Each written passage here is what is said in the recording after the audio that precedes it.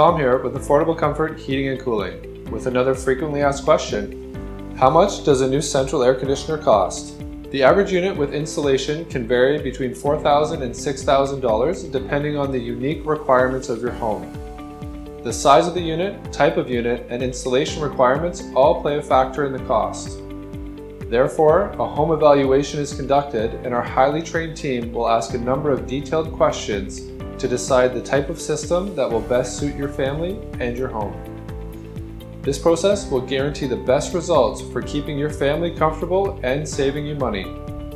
Give us a call today to schedule your free in-home evaluation. We look forward to working with you soon. Take care.